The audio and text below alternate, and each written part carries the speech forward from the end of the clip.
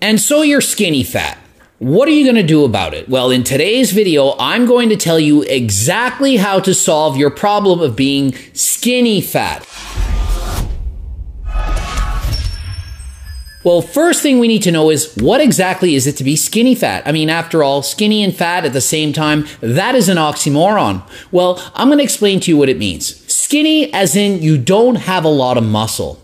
You're very ectomorphic, you don't have good genetics to build muscle, or you haven't lifted weights. You don't have enough muscle, and therefore you look skinny, but at the same time, you have a fair bit of body fat. You don't have a six pack, you're not lean, and so you have a body with not much muscle, but with too much fat. That is what being skinny fat really is. Now, a lot of people, they think they're skinny fat when they're not. They literally have abs and they think they're skinny fat. If you have abs, you're not skinny fat.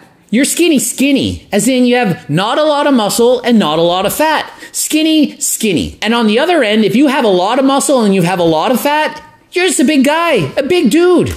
You're overweight. So in any case, someone who's skinny fat has to do two main things. They have to increase the amount of muscle on their body so that they're no longer skinny, while at the same time decrease the level of body fat so that you can see the muscle that's underneath. So, for all intensive purposes, I'm going to say that the ideal body fat percentage for someone to be healthy is going to be 15% for men and about 25% for women. And of course, this varies from person to person, but for this video, those are the numbers we're going to use. So, if you're not 10% or more compared to that, you're not skinny fat, you're simply skinny, skinny. So what does that mean? Well, for men, you're over about 25% body fat, and for women, over about 35% body fat. And so you have higher levels of body fat and not enough muscle. So being skinny, it could be the result of two main things. Number one, you're not even training, so how on earth could you have the muscle? Or two, you're training wrong, lack the genetics, or just aren't doing the training appropriately. So if you're not training, train. You got to join the gym. You got to at least start working out. If it's not at the gym, train at home. And how often? At least twice a week. The minimum you need to do is start training your entire body twice a week. If you can do that, you will begin to put on muscle. Newbie gains are quick to come by, and so if you're not training and you do train, you're going to see results quicker than most other people. Start by training your entire body, each muscle group, twice a week. Commit to doing that, get used to it, learn to love it, do the exercises appropriately, learn proper form, and over time, if you can do it more, do it more often. Now, over time, it's important to progressive overload. You can do this by adding heavier weights training smarter, using better form, better mind muscle connection, going slower, concentrating more on the exercises, or doing higher reps. There's so many ways to progressive overload.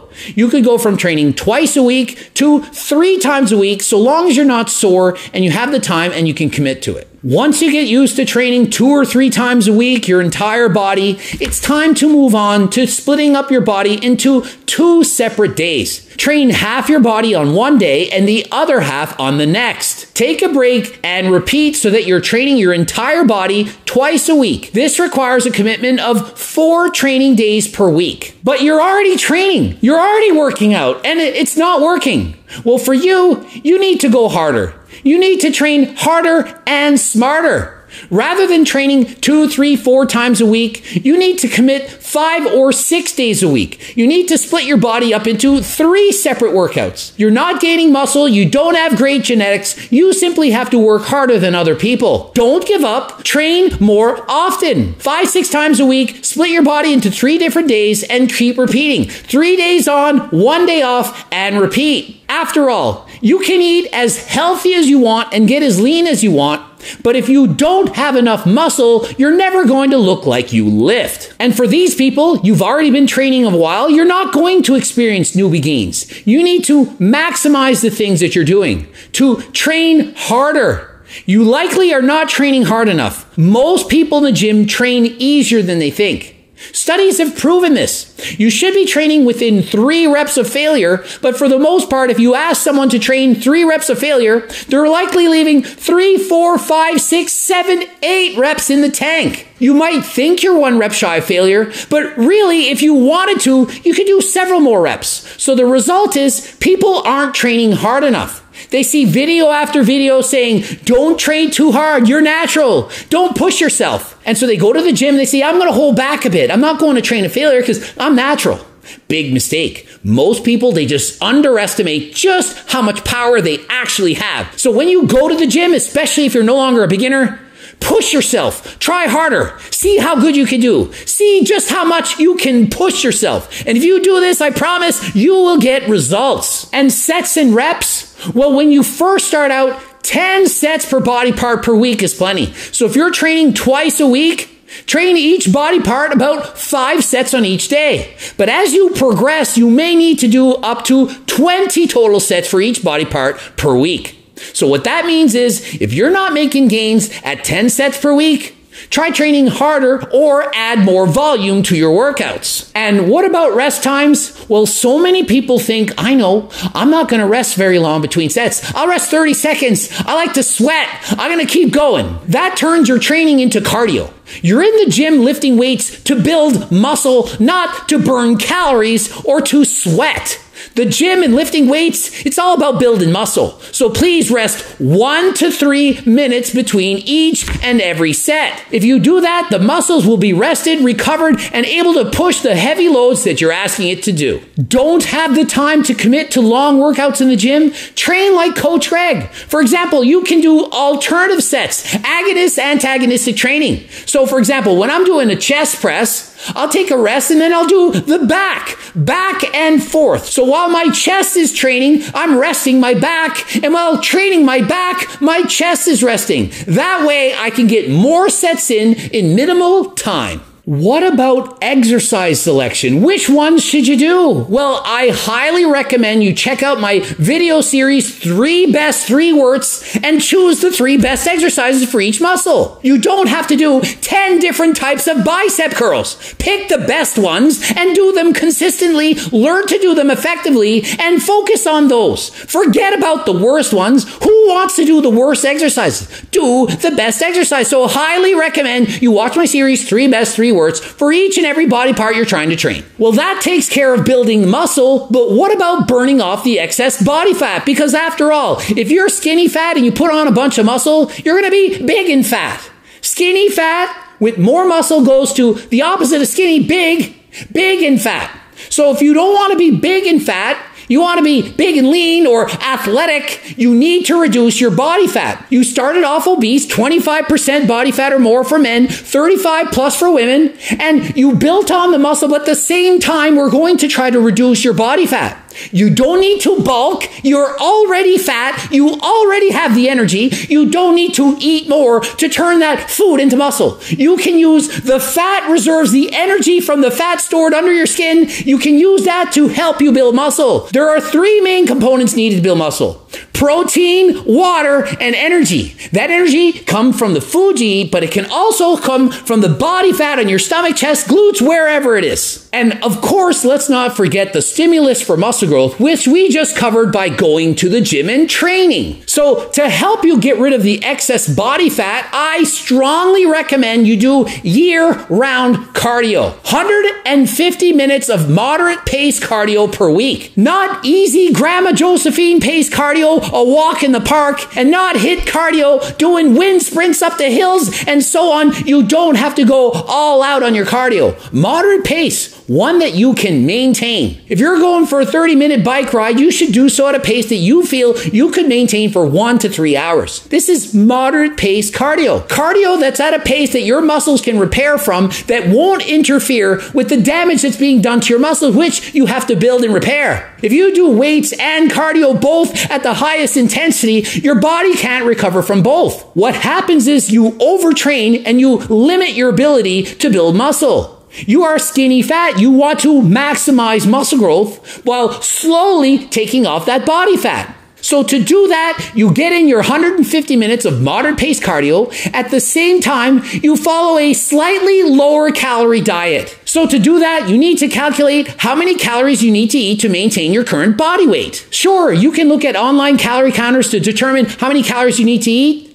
But they're a guess. They're not accurate. And even if they were dead on balls accurate, you might not know how to properly calculate your calories.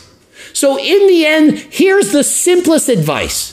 Just eat a little bit less. Little bit less. Weigh yourself every morning, each and every day of the week, or at least five days. You know, everyone forgets. So if you weigh yourself five days in the week, track your median weight. The median is the middle number. If you weigh yourself five days, cross off the two heaviest days, the two lowest days, circle the one in the middle. The circle, that's how much you weigh. Every week, compare that median weight from one week to the next. It should go down slowly. How slow? You shouldn't lose more than about 1% of your body weight per week. The first week might lose a little more, but it's mostly water weight. But after that, no more than 1% of your body weight a week. You weigh 200 pounds, don't lose more than 2 pounds a week. 300, 3 pounds. If you're tiny, only weigh 100 pounds, don't lose more than 1 pound a week. The less you lose, the better. The smaller the calorie deficit, the easier it is to not only maintain your muscle, but to build it at the same time. And yes, that's right, you can build muscle in a deficit. Problem is, people crash diet. They go on highly restrictive diets, thousand calories or more deficit a day. They're losing two, three, four, five pounds a week. You see it all the time, before and after transformations. Wow, oh my God, you lost 100 pounds six months. I can't wait to do it myself. You lost 20 pounds in a month. Wow. And you try to do that and then you lose muscle. You are skinny fat. You don't have any muscle to lose in the first place. You need to maximize the amount of muscle that you already have and build on it from there. And the way to do that is to slowly lose the fat. 1% body weight maximum per week. And I strongly suggest even less, half percent, quarter percent. Remember, 1% is the most. Problem is, people want it now. You're skinny fat, you don't want to be skinny fat anymore.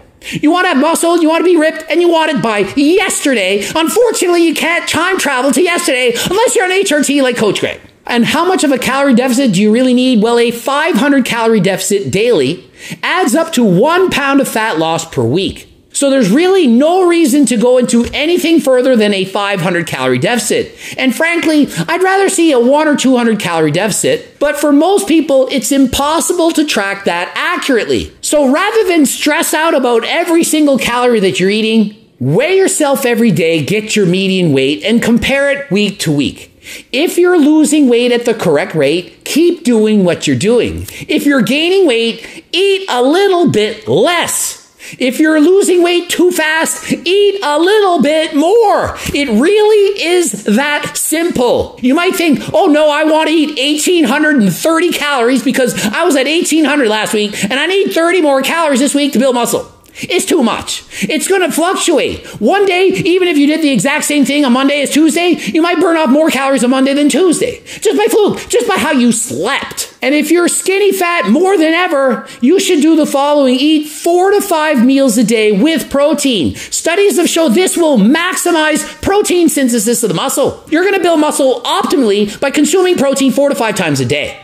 You might say, no, I want to intermittent fast. Well, you can, but it's not optimal. It's still okay. It's just not as optimal. So if you really don't want to be skinny fat, try doing what's optimal to prevent that. And you're thinking, but how much protein? Try to eat one gram of protein per pound of body weight. Simple. 100 pounds, 100 grams. 200 pounds, 200 grams. How could it be simpler than that? One gram of protein per pound of body weight. Sure, you can eat more and sure, you can eat less, but try to be about one gram a day. If you're over or under by a little bit, who friggin' cares? It's not going to make a difference. And the number one reason diets fail is going to get hungry. You're skinny fat for a reason. You're eating till satiation, till you're full, till you're happy, satisfied. If you start dieting and eating less calories, you are going to start to be hungry, especially if you eat the same foods that you're currently eating. Think of it, the definition of insanity, doing the same exact thing over and over, expecting different results. So to prevent being hungry, you need to eat more voluminous foods. Foods that have less calories, but still have a lot of volume. They're bigger meals. Because that way you're eating them and you're full. When you get full, your body releases hormones. Leptin says, hey, you're full. You don't need to keep eating. Yeah, you're good. But when you eat highly palatable, delicious foods like Haagen-Dazs pizza chips, your body's like, I like that. Keep eating that stuff. That is freaking amazing. you need to be careful because before you know it, that bag of nuts and trail mix is gone and you just consumed 2,000 calories. And to lose weight, you need to be in a deficit. So guess what you can do? Guess what I recommend? You ready? Get the freaking cookbook, Cookbook 2.0. Low calorie, delicious recipes. You can continue to eat the foods that you're eating, but you just simply make them lower in calories. Remove some of the fat, sugar, make it lower in calories, but still taste amazing. The diet you should follow is the diet you can follow for the rest of your life. The circle diet, the forever diet. Doesn't taste good, it's below the circle. Make it taste better, add things to it. Put the salmon on a rice cake, make it yummy. Bring it into the circle. By doing that, you'll be able to stick to this diet, slowly lose this fat, and by training, you're going to slowly add that muscle. Over time, you go from being skinny fat to less skinny fat to suddenly now you are finally athletic. It might not be the dream physique that you pictured. You might not look like Chris Bumstead. You may not be Cristiano Ronaldo or Wolverine. But you're better than you are right now.